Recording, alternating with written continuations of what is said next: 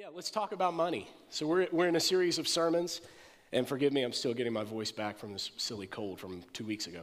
But we're, we're Sunday to Sunday talking about things that just aren't often talked about in the church, at least not in a healthy way.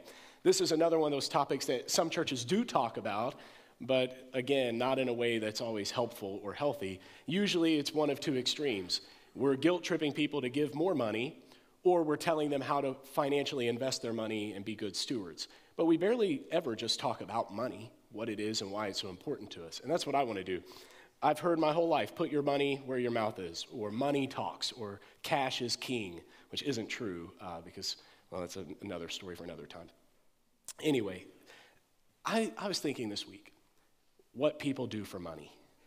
Now think in your life experience, just in your own life experience, what people have done for more money. Almost anything.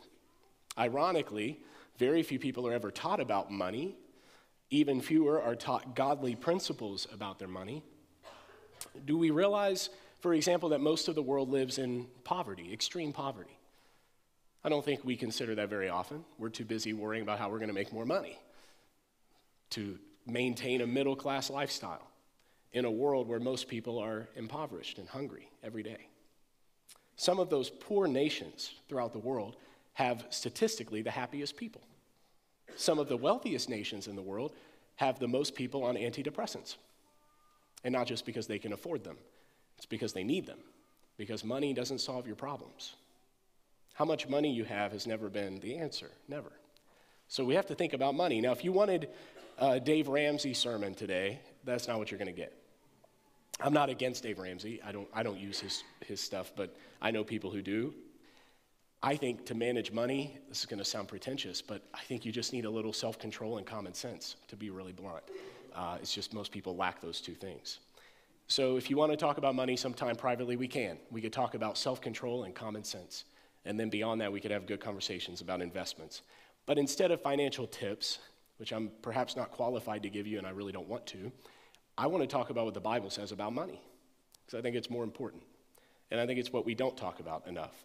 Money to start out with isn't just money, at least not in Scripture. When Jesus says money, he uses an Aramaic word, mammon. Anybody know what that word means? It means possessions or belongings, it means stuff. We want it to just mean money, cash money, but it doesn't. It means all the stuff that cash can buy you. It's the material world. So if we want to group that in with money, I think that would help us. So we're not just talking about actual money in a bank account, we're talking about stuff we're talking about material possessions because that's why we want money, is to buy stuff, to travel, to see the world, to make memories. And none of that's inherently wrong. And yet Jesus said in Matthew 6 24, famous words, no one can serve, do you know it? Two masters. No one. Either he'll hate the one and love the other, or he'll be devoted to this one and despise the other one. But you can't serve two masters. You, you can't serve both God and, and then he uses the word mammon. You can't serve God and stuff. You can't love both. You can't love both. Money is not God, it isn't a God. It provides no lasting security. Money has no concern for your welfare. The stuff that you own doesn't care about you. You know that, don't you? You know all the things that you possess have no feeling, no emotion, no concern for you can do nothing for you, cannot transform your heart. That's why wealthy people are no more satisfied or happy than impoverished people. In fact, it's the opposite that's often the case. Because there's a difference between the buying power to live lavishly and the divine power to live well. That sounded smart. I'm going to say it again. There's a difference between the buying power to live lavishly and the divine power to live well and those don't always match up. Money can't save you. Jesus also said, Matthew 19, 24, it's easier for a camel, you know this one too, don't you, to go through the eye of a needle. A camel to go through the eye of a needle than it is for a rich person to enter the kingdom of heaven. Now, that's not some hopeless prognosis for the wealthy, it's a hyperbole, it's exaggeration. Jesus did it a lot. He used wordplay. He exaggerated things to make a point. What do you think the point is? It's that even the rich can't buy their way into God's kingdom. He didn't mean only the poor can get in. He meant no matter how rich you are, that will not guarantee you entry. Your money has no power in the world to come. The things you own here don't go with you when you're gone. Now, we've all heard that. There's no U haul behind a hearse. We've heard those things, right? We know you can't take it with you when you go. Or as you came into the world, so you will leave the world. You came in as a, a little baby with nothing, you'll leave the world as an old person with nothing, God willing. But you can't take the stuff. The stuff stays. And worse than that, it, it gets rusty and falls apart, it deteriorates. Money is important, but it's not God. It has no power, certainly not power in the world to come. So let me ask you a few questions uh, without you getting offended. I just want you to think honestly. You don't need to answer out loud or raise your hands, but think about your own financial situation. Would you say that you are well off currently? Or perhaps you'd say you're struggling. Do you feel rich? Are you broke? Do you live paycheck to paycheck? Do you feel underpaid, undervalued by your employer? Maybe you're unemployed, making more than you deserve, and you feel guilty.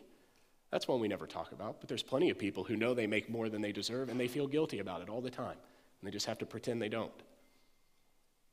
Maybe you're living generously, taking care of those in need. Maybe you're buried under debt. It's hard to talk about this stuff. Even those questions made some of you cringe. Some of you were squirming as I asked those questions. Others of you were falling asleep. That's fine it's hard to discuss money. It's hard enough to discuss money with family and friends, let alone a room of 200 people that are, for the most part, strangers to you, or at least not, not really close family and friends. You don't talk about money in a place like this. And we all know someone who has quit church because of the way religious people handle money. I call it the holy hustle. That sounds like a TikTok dance. Uh, we got to get on that. So, one of you teenagers help me with that after church. Uh, sanctified swindlers, okay? Have, there's fun words for it. Uh, you can call them whatever you want, but, but we know what they are. They're charlatans. They're people who rip off those who are oftentimes already needy, and they take the little they have and fatten themselves up. And they do this in the name of religion or God. We see that. We know that's out there. That's real and it tarnishes the reputation of all churches. But I do think, even, even though I think we could be better stewards always, I think this is a pretty good church. This is a healthy church where we try to steward things well and, and be generous at all times. And even at a church like this that's doing a pretty good job with money, it's still weird to talk about money. It's still uncomfortable to bring it up in large groups like this. It'd probably be just as awkward to bring it up in a small group. It's complicated. We can't, we can't pretend that on a Sunday morning there aren't people in this room who drove here in a six figure SUV and people who had to bum a ride to get here, sitting in the same pews together. You can't pretend that's not happening. That's real life. Money is complicated. And I don't say that to make anyone uncomfortable, it's just facts. It's the world. What's worse we let our, our current financial position dictate our attitude or define our value. We often, because it's culturally entrenched, we think that how much we have tells people how much we're worth. We define ourselves by our income and our stuff. We play the caste system game rich versus poor. Jesus said, There will always be the poor among you. What he meant was, people will always do this. They'll always hoard and gather for themselves and leave others without because everybody wants more. Now, today in America, it's more nuanced than that. Our caste system is, is multi layered with a whole middle class, at least it used to be, is disappearing. Uh, conversation for another time. But this is the same game humans have always played. Wealth equals status, status equals power, power equals independence, independence equals free agency. Agency means I choose what I want that will make me happy. And then happiness, of course, is the goal. So, all the way back to the beginning, wealth, by way of all those other moving pieces, equals happiness. Wealth equals happiness. That's the game that we play. It's not it's not true, it's rigged. But people fall for it, and they keep running in that rat race every day of their lives, thinking that more money will give them less problems. They obviously didn't listen to Biggie. Some of you know Biggie Smalls and you're afraid to laugh because you're in church. That's fine.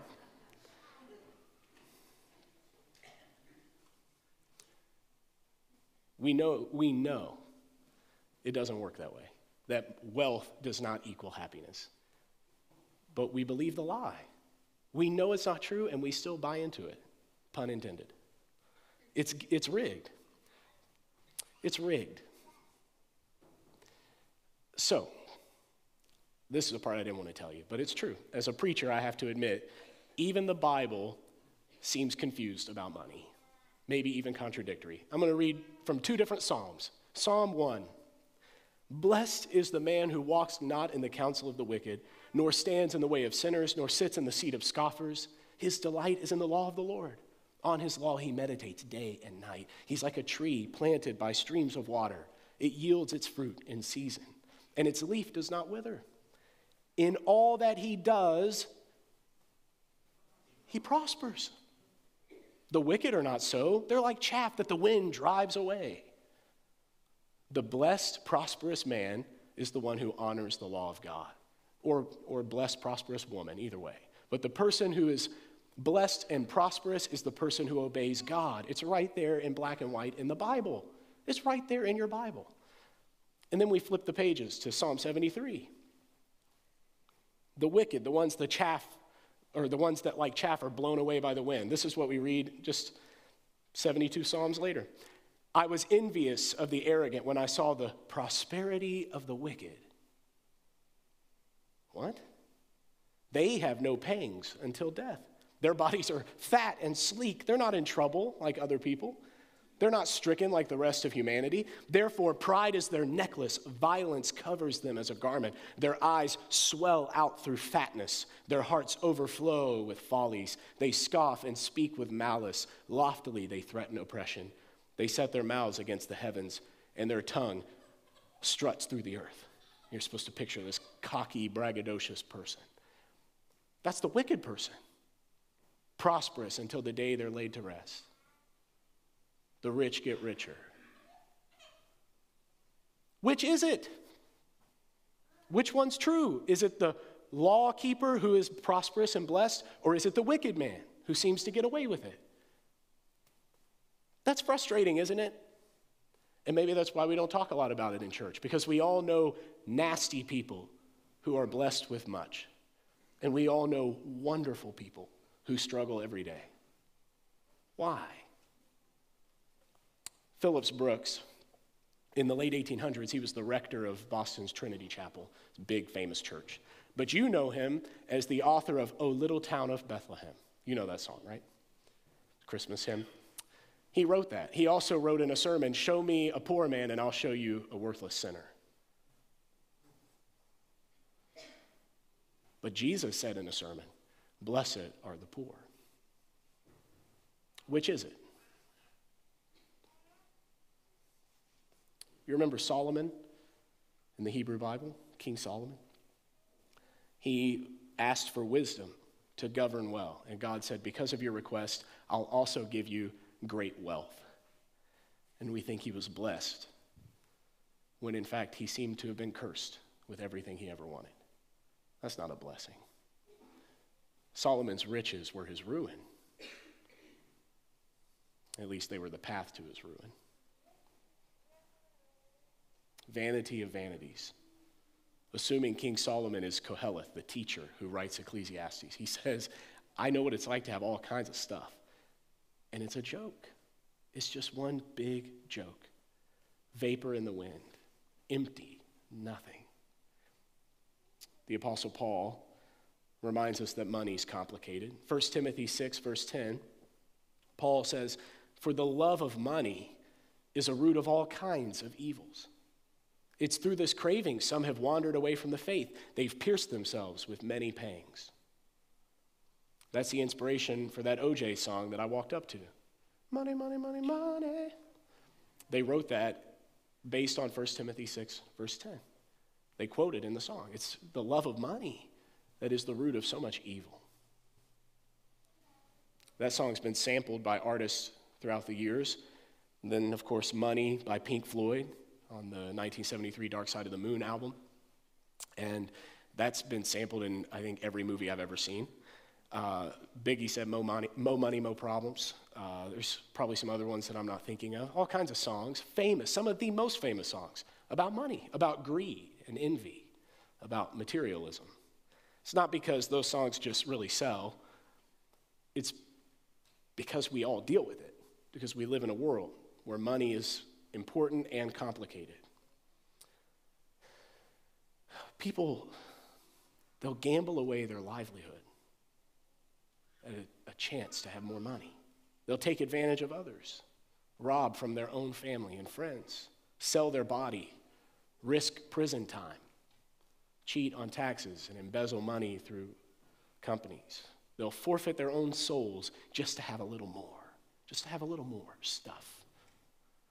We love money. And it's just paper with dead people's faces on it. So we know it's not the money that we love, it's just paper, right?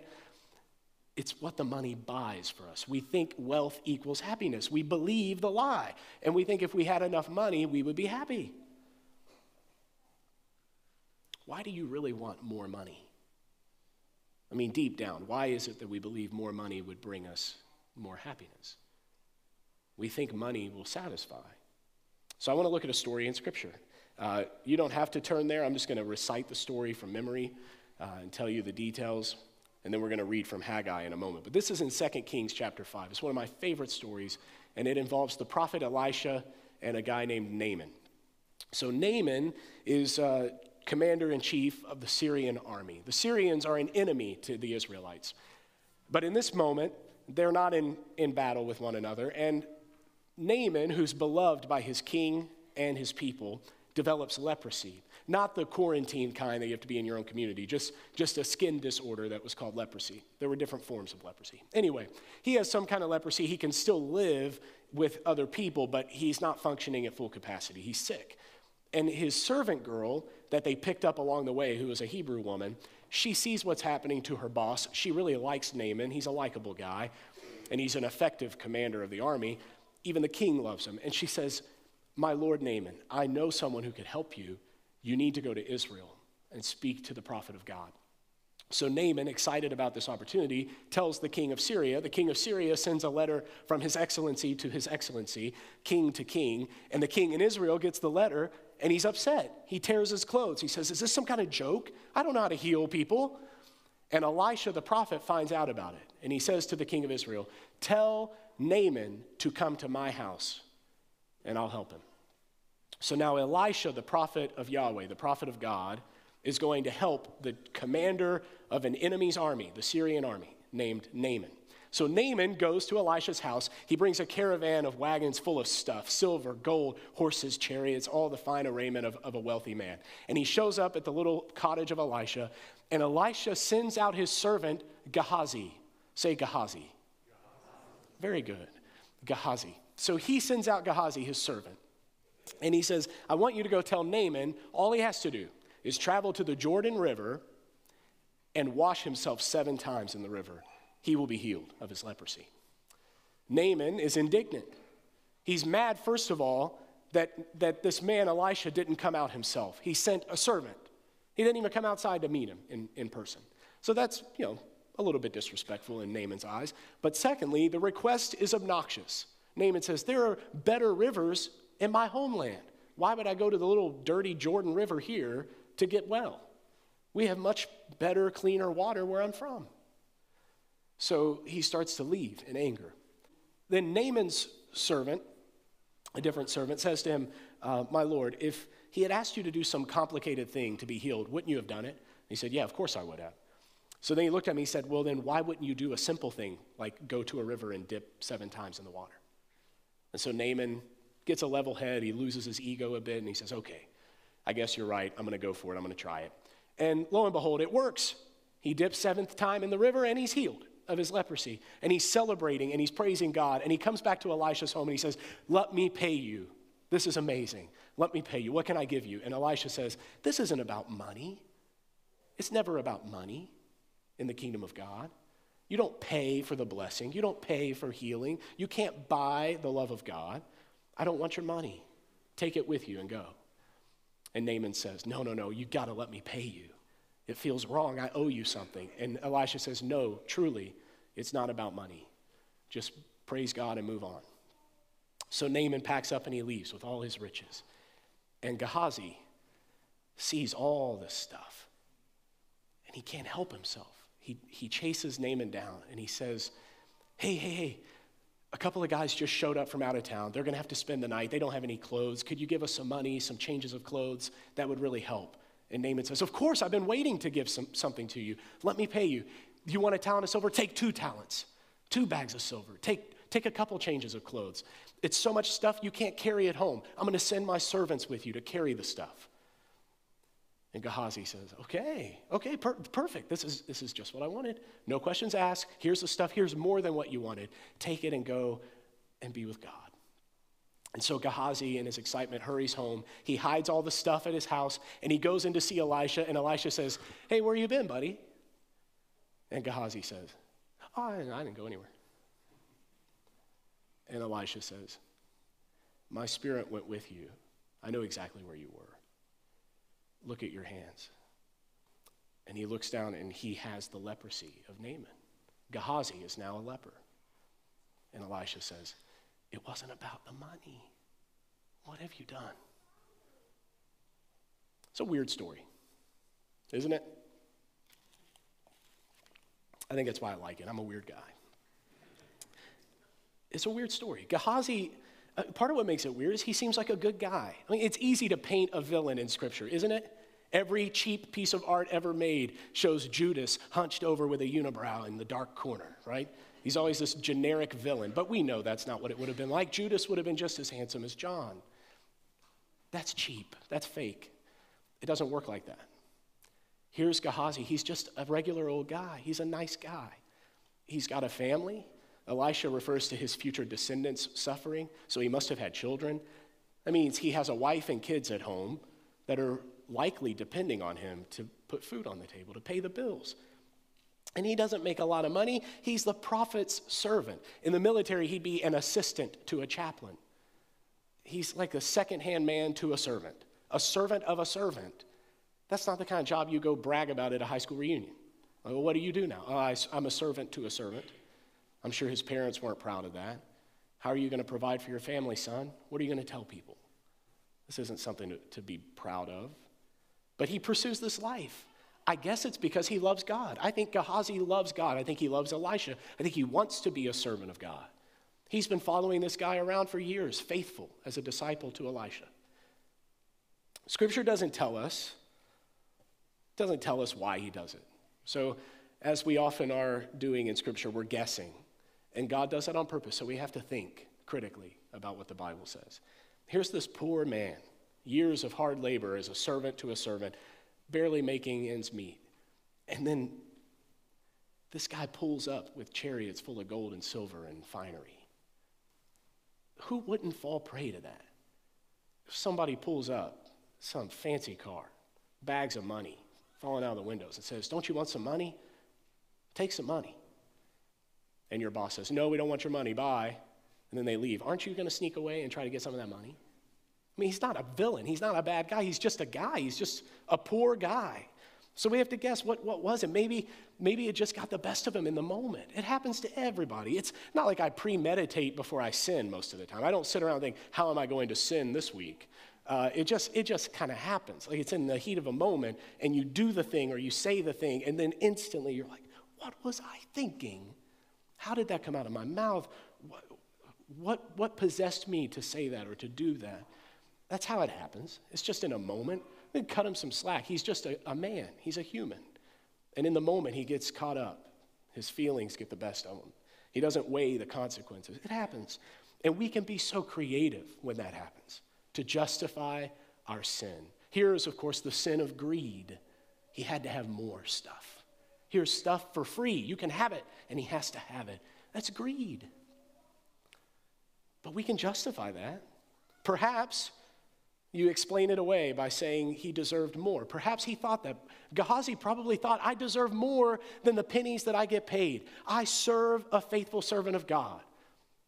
Every day, I carry his stuff, load around all this heavy whatever, put the firewood in, in bundles and, and help with the animals, or whatever else he had to do. He had to do all the grunt work, right? He's like, I do all this heavy lifting, dirty work, and I get paid nothing poorer than poor. He feels undervalued. The system's unfair. We can make an excuse for that when someone's not paid appropriately and they see a chance to take a little more. Perhaps. Maybe, maybe he just justified it because Naaman is a Syrian. He's a leader of a pagan army that has fought the Israelites. He's a bad guy. If there is a villain in the story, it would be Naaman, not Gehazi. Naaman's the villain. He's a leader of, a, of an army of a people who don't like the Israelites who at most, of, most times are fighting with the Israelites. You may not know this, but it was later a Syrian king, Antiochus Epiphanes, who committed the abomination of desolation, who slaughtered a pig in the temple in Jerusalem. That was a Syrian, a Syrian king. Here's the commander who serves under a Syrian king. Maybe he convinced himself it's okay to take a little from the Syrians. Sock it to them. They're bad guys, they deserve it. We do that, don't we? Base our ethics on the other. It's not something in us, whether it's right or wrong, it's whether it's okay to do it to them. Do they deserve it or not? You see what I'm saying? We do that all the time. My ethics aren't defined by my values, they're defined by you, the other. Do you deserve this? I would never, ever snatch a purse from an elderly woman on the sidewalk, but I might steal a little extra from the insurance claim or from the government I'm not saying I've done that. My insurance agent is in this room, so should be careful. but, you, but you know what I mean, don't you? When you think of a big conglomerate, some massive company, it seems okay to slip a little away. They're not going to miss it. Even worse if they're villains like the IRS. You know, who wouldn't want to steal from the government? They deserve it. They steal from us every year. It's our turn. Perhaps that's what it was. It's, well, it's a Syrian. It's okay to take a little.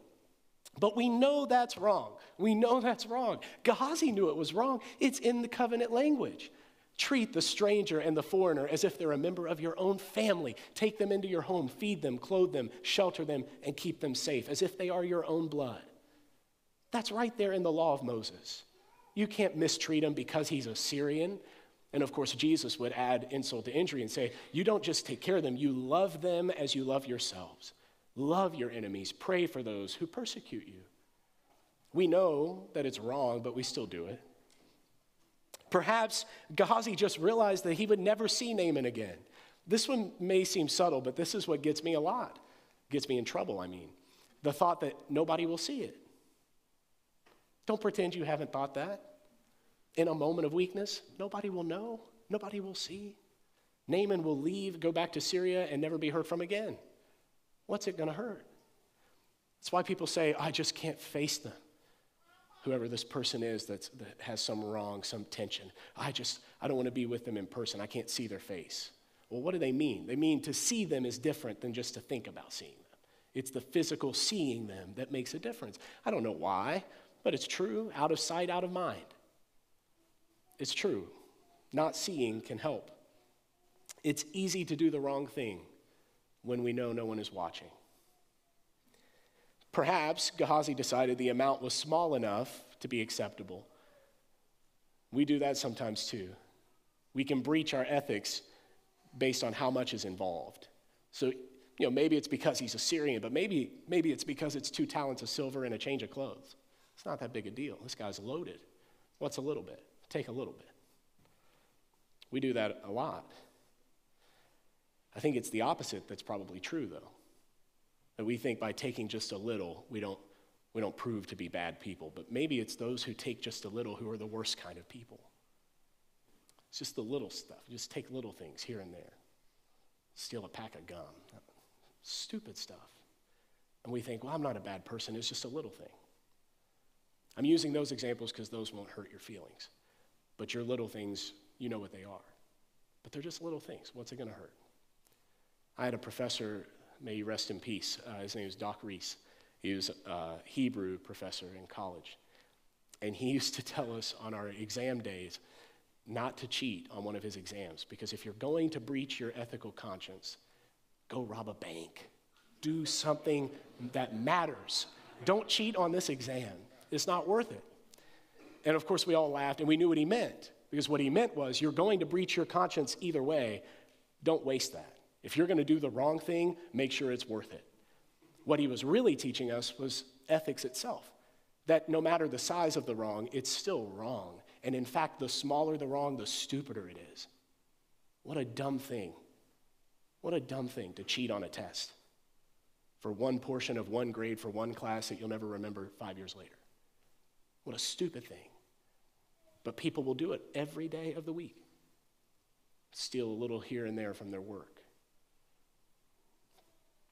Just so many examples of little, little things that are actually a revelation of the soul. Perhaps Gehazi just realized, as simple as this, he had a chance to take something. And when you live in a cruel and unfair world where the, the scales are always tipped to advantage the wrong people, then it seems right to just take what you can when you can. When the chance comes along, you take it, you seize the moment. Carpe diem. Some people live that way. They just take when they get the chance to take. There's an elderly woman in East Tennessee where I pastored before we moved here, and they had a lottery drawing for free groceries at the local grocery store. And she was so excited. And so uh, we, we waited until it was announced, and of course, it wasn't her ticket number. And, and I'll never forget what she said, because the person who won seemed like a, you know, a wealthy, upper class person, probably owned rental properties in Gatlinburg and had plenty of money. And she's dressed to go play tennis at the country club. And she wins the free groceries. And here's this elderly, widowed woman who needed those groceries. And she just looks at the dirt and she said, Them who has gets. Them who has gets. And I'll never forget that, partly because it's a weird statement. Like I had to think about what she said because I'm not from East Tennessee. I'm a, I'm a city boy. It's like them, them who has gets. Oh, I see what she's saying. The ones who already have just keep getting more. And the ones who don't seem to ever have anything just keep on not having anything. That's true, isn't it? That's painfully true. It's like the people who already prosper just keep prospering. And oftentimes they are wicked, fat and sleek, eyes bulging out, like Psalm 73 would say. Money is complicated. Do you see what I'm saying? That's why we don't talk about it. I'll tell you where to invest it or how to save it better or how to divide it into envelopes and pay all your bills on time. We can talk about that. I could tell you to give more to the church, promise you tenfold blessing. You could just write checks to me and a hundredfold blessing. Uh, that's a joke. It's a joke. But to just talk about money and stuff, that's a lot more painful because it is complicated. Because it digs into our, our psyche, because the way we use money says so much about us. That's why the Bible talks about it a lot, like a lot. I've heard people say Jesus talked more about hell than anything else in the Bible, uh, which is also completely false. He talked about it three times, and all three times it was a metaphor from real life. That's a sermon for another week. What he did talk about a lot was money. And so did the Old Covenant.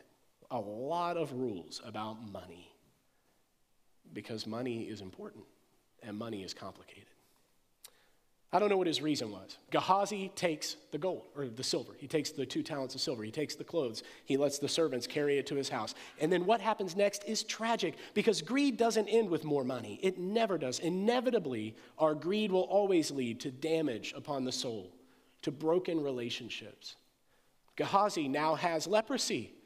And he's lied to his boss, his friend Elisha. And he's probably had to lie to his wife and children when he comes home with all this stuff. And they say, uh, Where'd this stuff come from? Hey, daddy, where'd, the, where'd those bags of silver come from? There's no pride in that. I don't know what he would have said, but this has damaged his life, the stuff that he was so excited to have. The only thing worse, I think, would be if he got away with it, if Elisha didn't catch him in a lie. I think that would have been worse because two bags of silver would never be enough. Some of you know. Some, some of you can help me preach that point. It would have been worse to not get caught because two bags of silver would never have been enough. Do you know what I mean? How much more will he need? Will this new wealth demand a new level of income? He's done it now. He's in the rat race. And there's no getting out. He's in the labyrinth. He's racing with every other rat to get the cheese, not knowing it's poisoned. He doesn't even know what he's doing. Some of you know the race never ends. There's no real winner, but once you're in, you can't really get back out.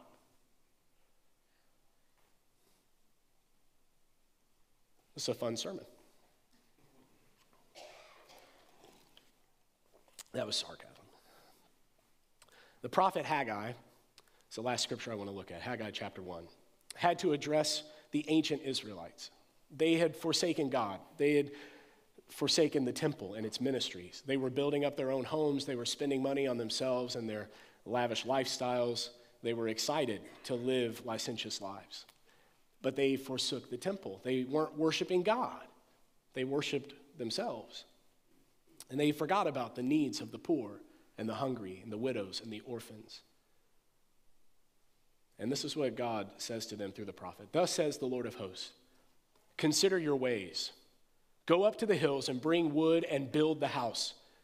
That is, fix the temple. That's what he means. That I may take pleasure in it and that I may be glorified, says the Lord. You looked for much, and behold, it came to little.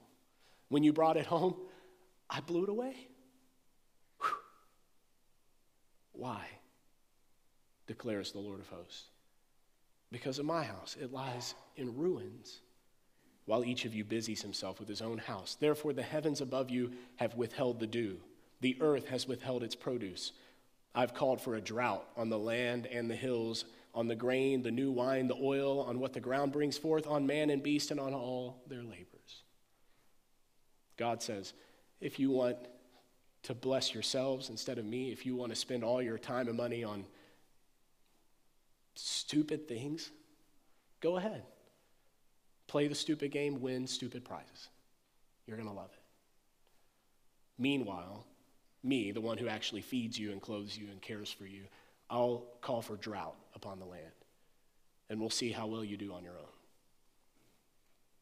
That's tough.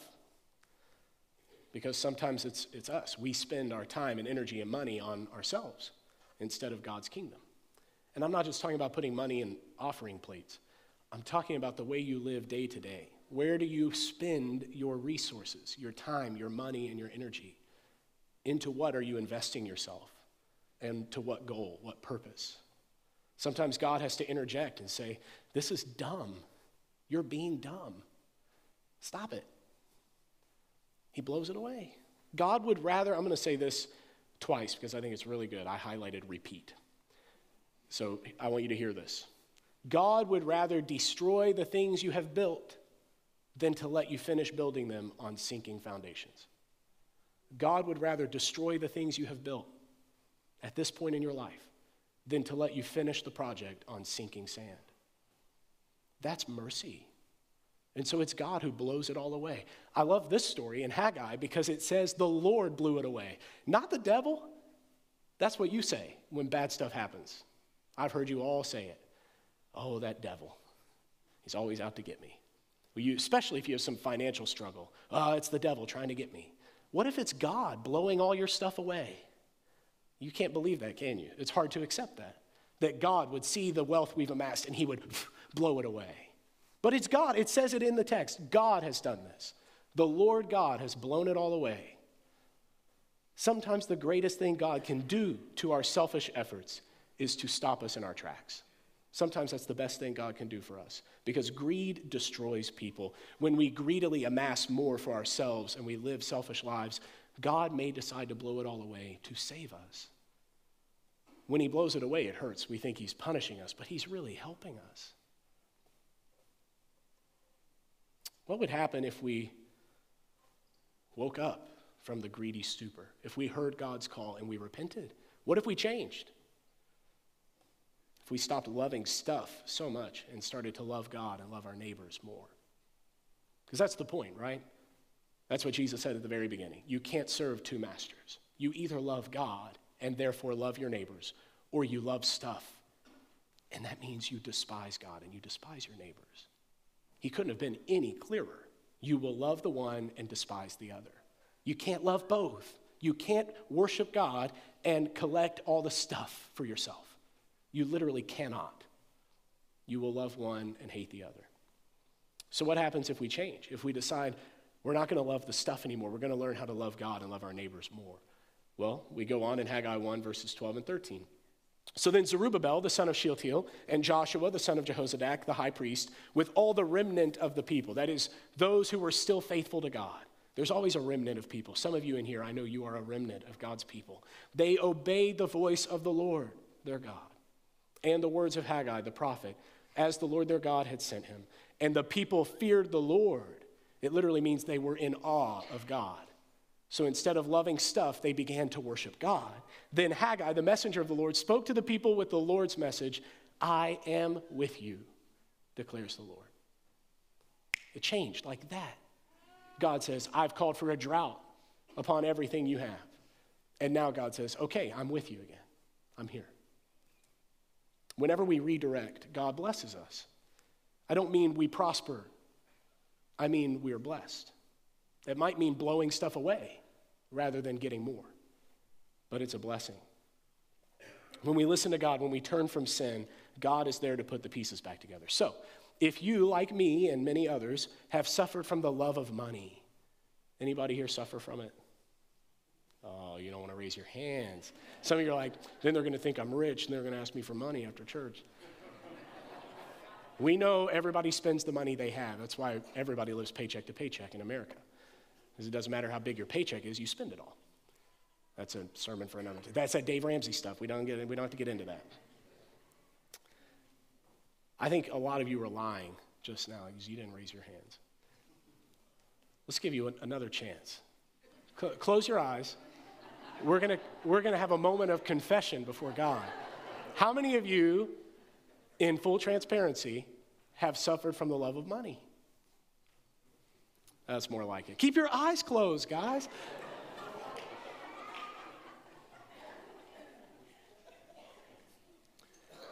it's not too late.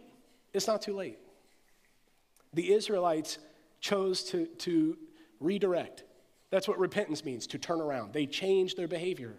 They learn to quit loving their stuff and learn how to love God and their neighbors. They began to use their money for the poor, the hungry, the widows, the orphans, instead of fattening themselves up for the day of slaughter. We have to make that change from greed and selfishness to generosity and loving service. And God will declare, I'm with you. That could be your story. It could be your story today if you were to make the change. Would you stand with me as we close? I do have some final questions to ask you about stuff, about money. First of all, are you content with the money and the stuff that you've accumulated? And I want you to think very carefully about these questions. Are you content with the money and the stuff you have accumulated? Can you speak about it without embarrassment or guilt? Because you've worked hard to earn a living and you've shared with those in need. Contentment is an extraordinary gift. You can have contentment whether you're rich or poor. If you know you have worked hard and, and shared with others, then you can be content. So the first question is do you have contentment with the things that are yours? Because they're not really yours. And that leads to the second question Do you live out of genuine gratitude for all that you have received? Whether you've received much or little, are you grateful for it? Whatever you have that you can say is yours, do you have gratitude? Kylie and I often discuss what we would want most for our children, where we're going to direct our efforts as parents.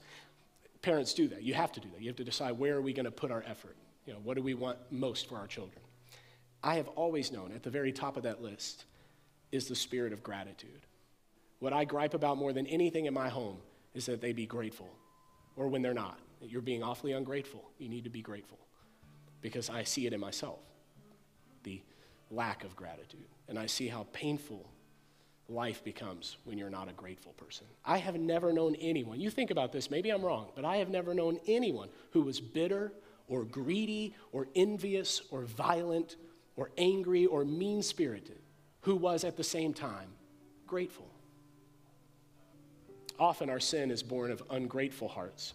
So I believe gratitude is an antidote to sin, certainly the sin of greed and envy. Money, money's complicated, but gratitude is quite simple. So I think that's where we should start. In a sermon, when we talk about money, what we really should talk about is being grateful. God, help us to be more